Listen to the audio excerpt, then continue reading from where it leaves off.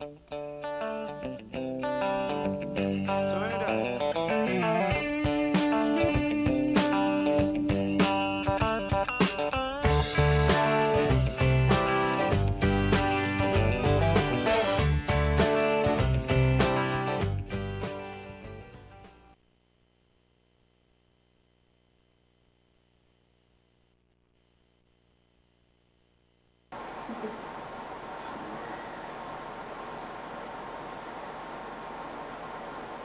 Good morning. Happy Thursday. Good morning, Mr. Pugh. How are you? Good morning, Mr. Singer. Good morning, uh, Gators. Good morning, GVTV crew. We have a new group with us watching. Some of them brought props with them. I'm trying to figure out if it's a guinea pig, a hamster, or what have you. But welcome. We're glad to have you. And good morning, Gators. Happy Thursday.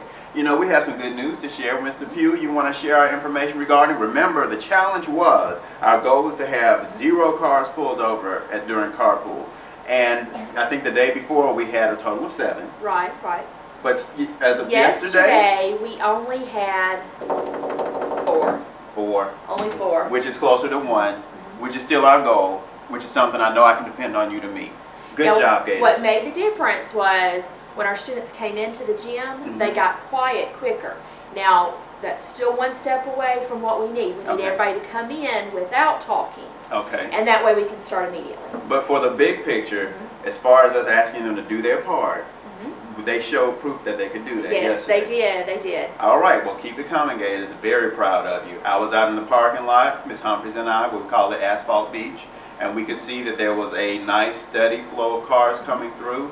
So we could tell out there that you were doing your part. I want to encourage you to do, continue to do that today, not only during carpool, but each and every day, everywhere you go. We have vision and hearing screening today, I believe. Yes. Uh, so that'll be an opportunity for you to show our visitors that you know how to meet expectations. I have another happy to share, but I'm going to do that after we finish our normal morning routine. So if you would, join us for the pledge, followed by the singing of the Star Spangled Banner, and then we'll pause for a moment of silence. And we'll be back. If all Gators are ready, attention, salute, pledge. I pledge allegiance to the flag of the United States of America and to the republic for which it stands, one nation under God, indivisible, with liberty and justice for all.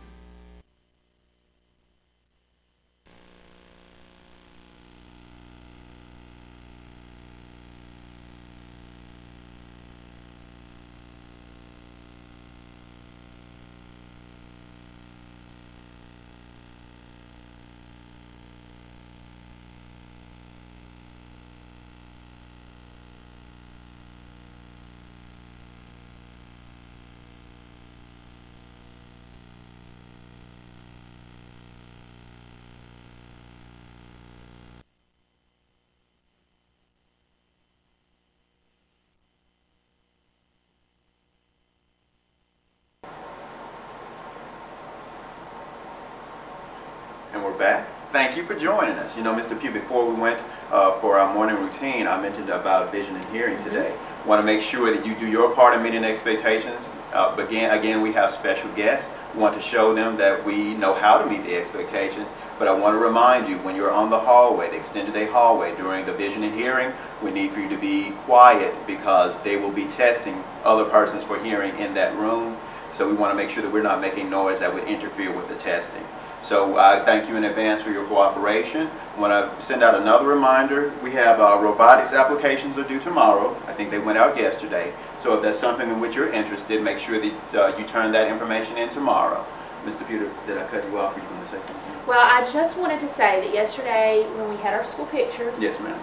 we finished really early, and that is because you guys were following expectations. And not only that, that was the happy. Mhm. The persons who were with us, Bill Miller Photography, they were very complimentary of your behavior and, and your meeting expectations. So that just goes to show that people take notice, even when you think they aren't looking. So they take notice of your meeting expectations. So very good, good job, Gator Challenge for everybody, very proud of you. We're going to move on to the lunch menu. Today's menu reads hot dog on bun, herb baked chicken, tuna salad, whole wheat dinner roll, oven baked potato wedge, beets and sweets. Interesting. Broccoli, uh, florets raw, fresh grapes, and sliced peaches. So as you're making your selection, remember what you choose now will be what you receive later. Make sure you bear in mind your responsibilities in the lunchroom, monitoring your tone of voice and taking your tray to the receiving line. And make sure that you are meeting expectations not only in the classroom, but also in the, in the hallways and whatever locations you may find yourself. Remember to carry the expectations with you each and every day, everywhere you go, including holidays and weekends.